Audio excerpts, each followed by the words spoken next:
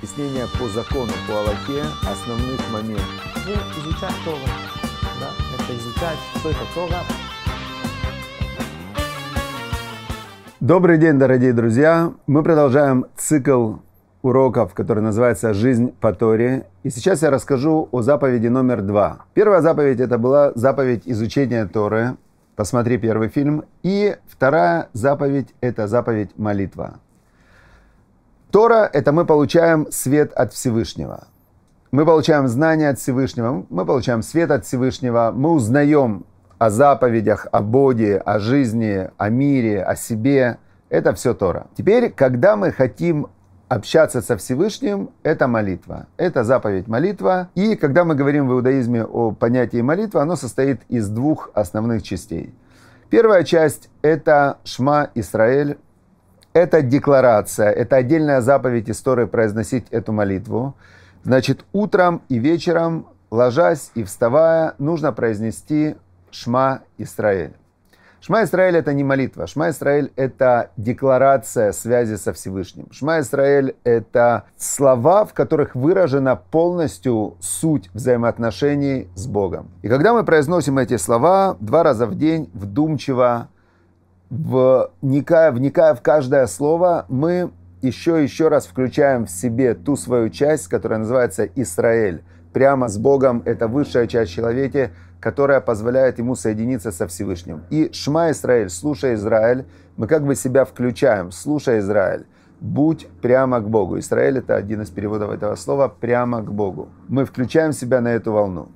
Включили, и дальше идет молитва. После Шма Израиль идет молитва.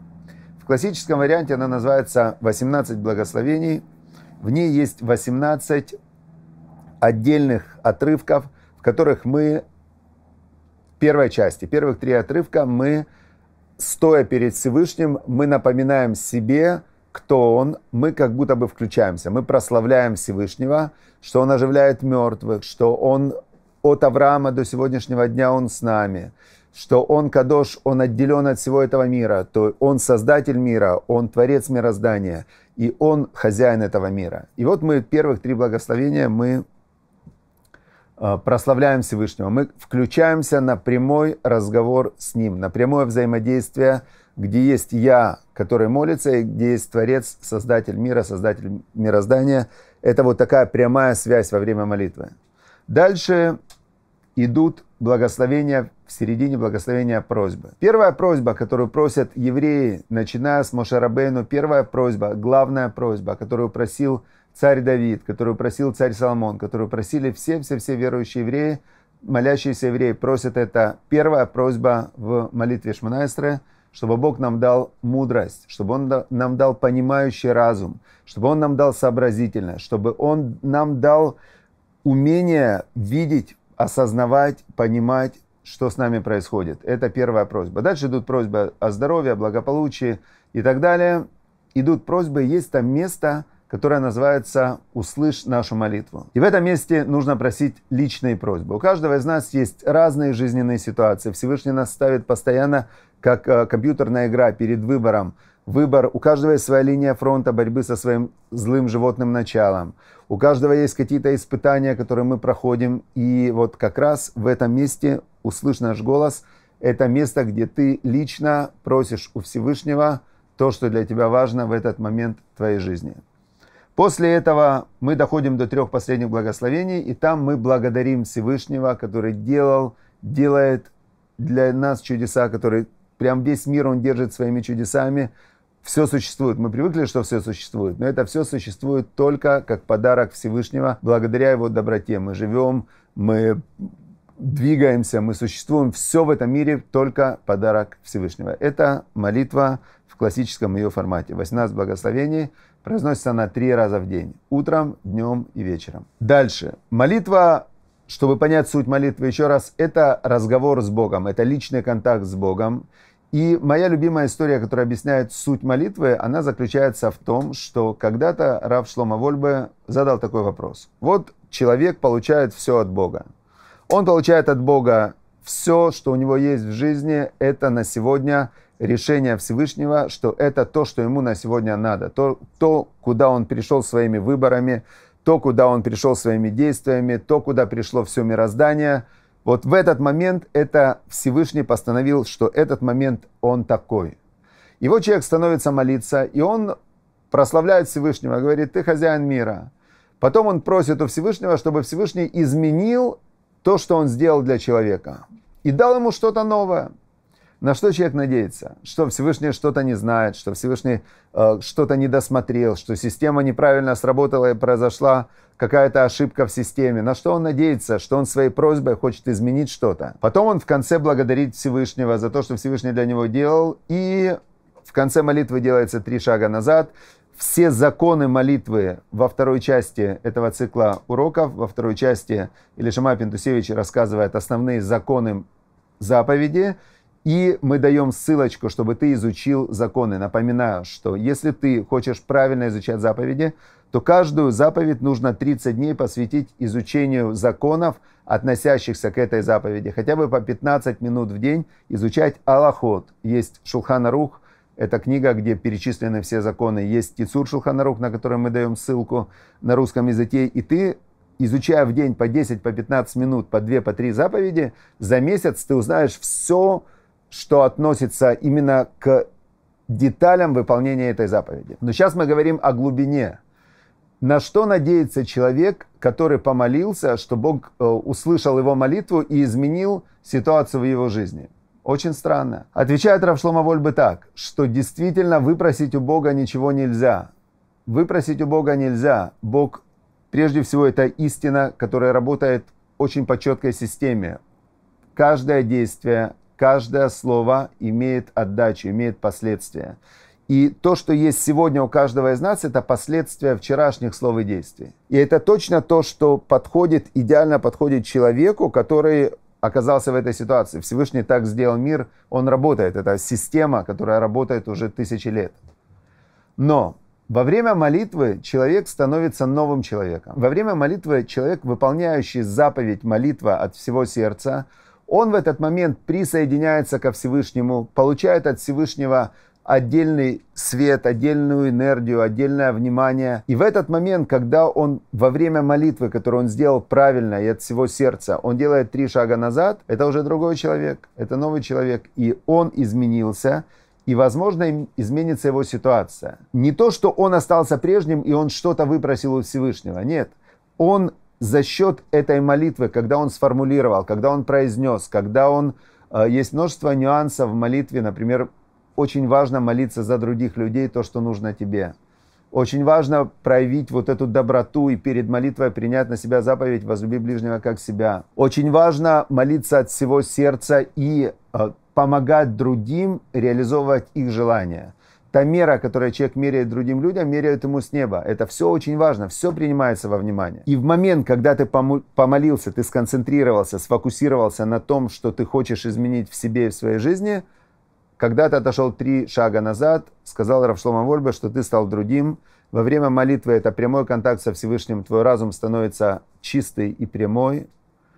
И когда ты отошел, у тебя будет совершенно другая жизнь, другое восприятие мира. Поэтому рекомендуется после молитвы какое-то время подумать о своих делах, какое-то время поразмыслить о своих выборах, которые есть у тебя на сегодня в жизни.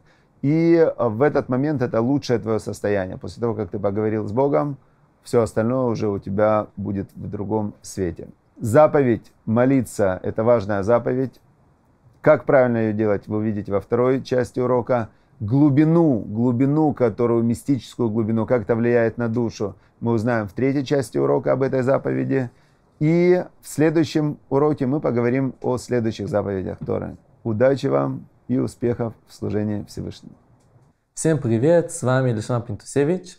Я вам расскажу аллахическую составляющую этих заповедей, которые мы будем изучать. Мы сейчас находимся в законы молитвы Шмонайсры. Есть закон такой, что каждый еврей, каждый человек должен молиться три раза в день.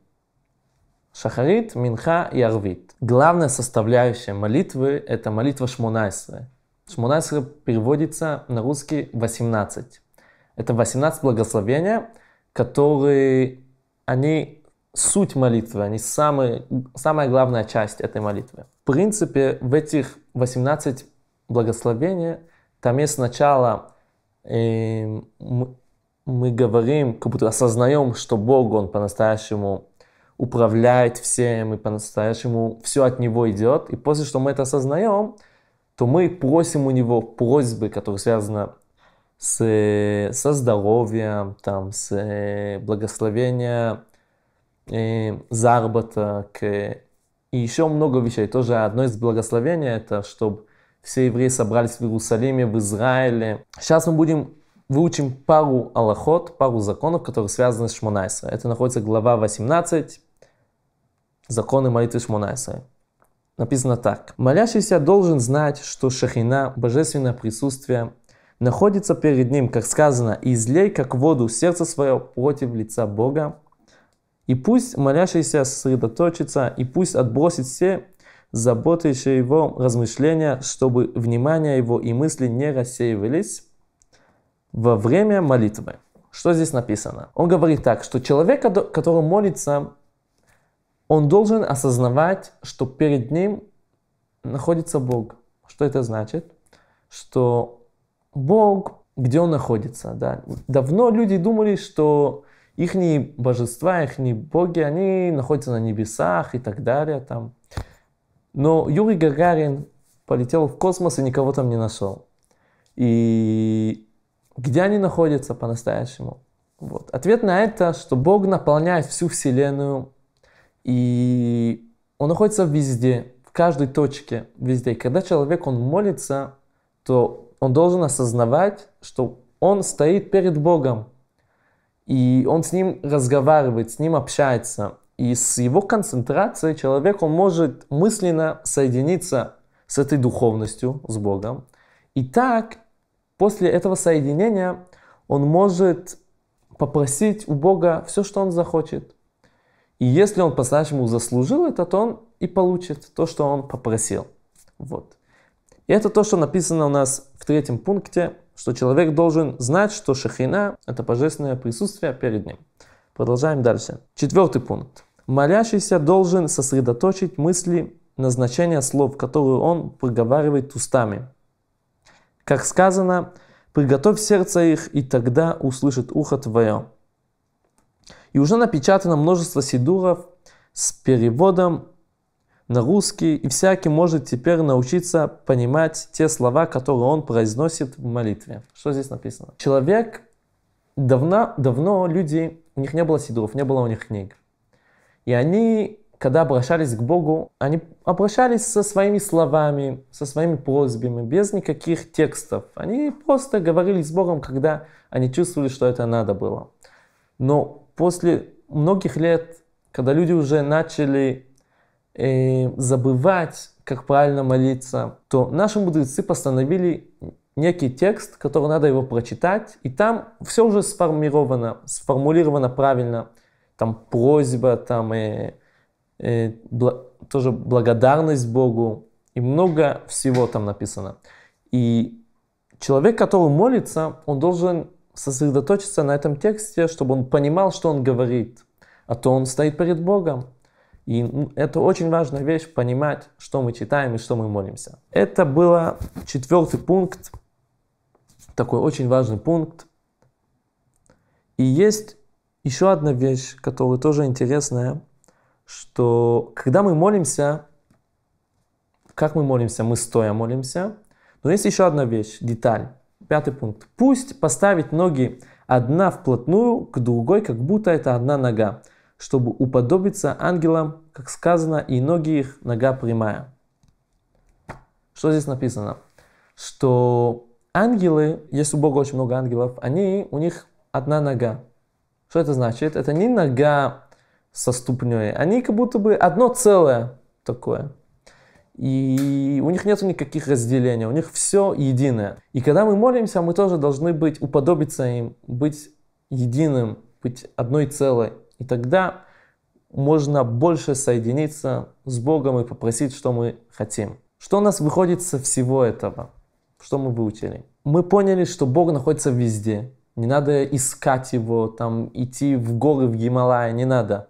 Не надо лететь на Луну, чтобы найти Бога. Не надо быть Юрий Гагарином, не надо быть космонавтом. Бог находится везде в нашем мире.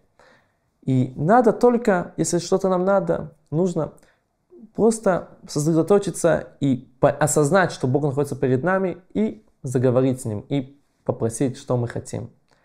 Если мы будем так делать, то очень вероятно, если мы заслужили, мы получим то, что нам надо, и будем жить счастливо и хорошо. Давайте будем жить заповедям вместе. Знайте, что Бог есть, и можно к Нему обратиться в любое время, когда нам понадобится. И есть кто-то, который услышит наши молитвы.